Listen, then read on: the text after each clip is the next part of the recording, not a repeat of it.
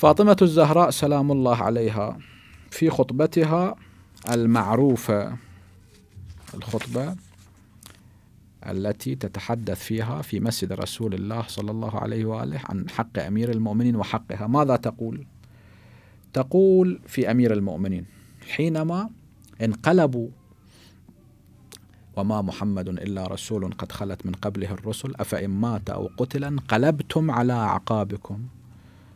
زين انقلاب كان في غزوة بدر في في غزوة أحد مؤقت كان. في غزوة حنين ويوم حنين إذا أعجبتكم كثرتكم فلم تغن عنكم شيئا وضاقت عليكم الأرض بما رحبت. ثم وليتم مدبرين إلى آخر الآية الشريفة. وانقلاب بعد رحيل الرسول الأعظم صلى الله عليه وآله. خالفوا أمر رسول الله صلى الله عليه وآله في وصيه. ففاطمة الزهراء سلام الله عليها جاءت إلى المسجد وخطبت. هذه الخطبة إتماما للحجة عليهم وإيصالا للحق للأجيال القادمة. ماذا تقول في هذه الخطبة من جملتها؟ والله قالت سلام الله عليها ما الذي نقم من أبي الحسن؟ لماذا يغضبون على أمير المؤمنين عليه الصلاة والسلام؟ يفعلون فعل المعاقب. ما الذي نقم من أبي الحسن؟ نقم والله منه نكير سيفه وقلة مبالاته لحتفه وشدة وطأته ونكال وقعته وتنم وتنمره في ذات الله. ماذا نقم من أمير المؤمنين؟ لأن أمير المؤمنين عليه الصلاة والسلام كان مطيعا لله سبحانه وتعالى. لا يداهن كما أن الرسول لا يداهن. ودوا لو تدهن فيدهنون. في الحروب كان يحصدهم حصدا يطحنهم طحنا. زين ذولا الذين قتلوا في معارك الرسول صلى الله عليه وآله في غزوة بدر في غزوة أحد في غزوة خندق الخندق في سائر الغزوات. وأكثرهم أو كثير منهم قتل بسيف أمير المؤمنين. هؤلاء كان لهم أقرباء كان لهم محبين. هؤلاء غلبهم الشيطان فحقدوا على أمير المؤمنين عليه الصلاة والسلام. ما قالوا أنه هذا قتل لأجل أمر رسول الله لأجل أمر الله سبحانه وتعالى. زين الحالة النفسية تغلبت عليهم واستولى عليهم الشيطان.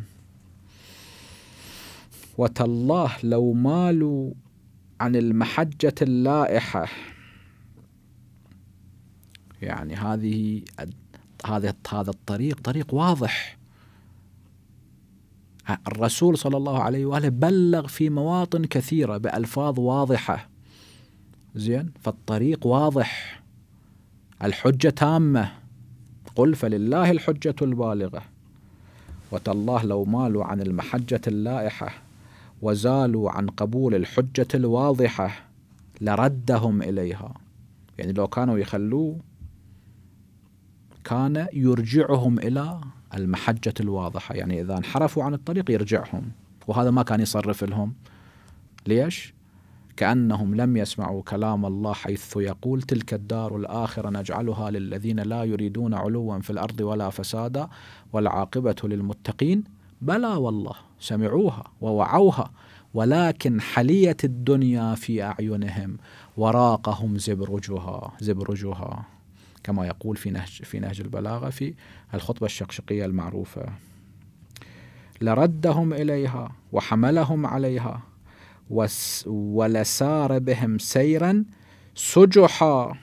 يعني اللين السهل لأن الشريعة سهلة سمحاء يسير على طبق الشريعة. لا يكلم خشاشه. يعني البعير كانوا يضعون حبلا في أنفه فهذا لكي آه، يضبطوه. لكن إذا كان يحرك رأسه بقوة أو صاحب الداب يجر هذا الحبل بقوة كان يخرم أنف البعير. إن أشنق لها. خرم وإن أسلس لها تقحم كما أيضا في الخطبة الشقشقية. لا أمير المؤمنين يسير على طبق الشريعة هذه بصالح الجميع. إيه إذا واحد يريد يحصل له مال من حرام رئاسة من حرام لا ما يصرف له هذا الشيء. ولا يكل سائره لا يتعب. ولا يمل راكبه ولا أوردهم منهلا نميرا. المنهل النمير يعني الماء المعين الزاكي صافيا رويا تطفح ضفتاه يعني تمتلئ. ولا يرن ولا يترنق جانباه يعني لا يتكدر. ولا أصدرهم بطانا يعني شبعانين ريانين. ونصح لهم سرا وإعلانا. ولم يكن يتحلى من الغنى بطائل. هو ما يجمع يعني لو هو رئيس ما يجمع أموال لنفسه. وبالفعل يعني حينما الناس بعد عثمان بايعوا أمير المؤمنين عليا عليه الصلاة والسلام ماذا فعل؟ عاش حياة زاهدة جدا أموال الشخصية اللي من المزارع والنخيل والعيون التي هو شقها بيده بكد يمينه في أيام إزاحته عن السلطة هذه الأموال كان يقسمها على الفقراء زين. أموال بيت المال ما كان يعطيها للأقرباء والأصدقاء والحاشية وكذا لا. حالهم حال بقية الناس. ولم يكن يتحلى من الغنى بطائل ولا يحظى من الدنيا بنائل.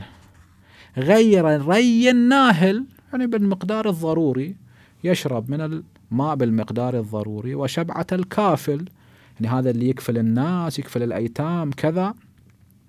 يشبعهم وبالمقدار اللي يحتاج أيضا يأكل مو أكثر من ذلك.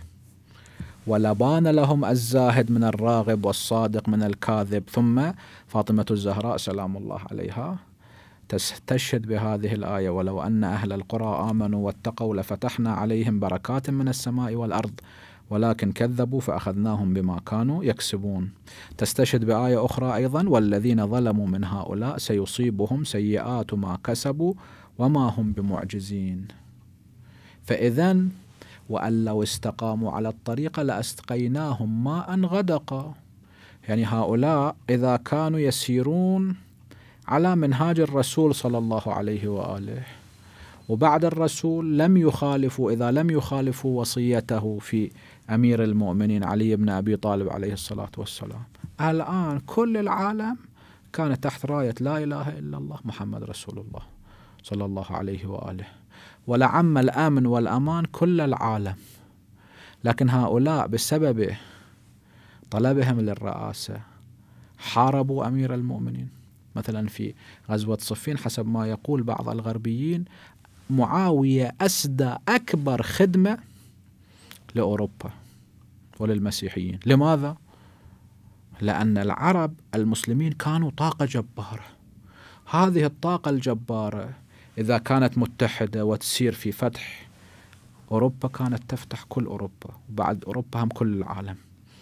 لكن ببغيه فإن بغت إحداهما على الأخرى فقاتلوا التي تبغي.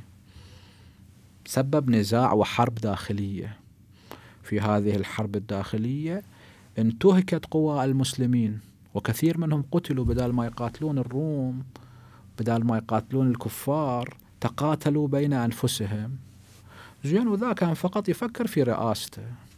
فأسدى أكبر خدمة للحضارة الغربية الذي لا زلنا نعاني من آثارها آثار تلك الحرب إلى يومنا هذا وإلى يوم أن يظهر الإمام المهدي عجل الله تعالى فرجه الشريف.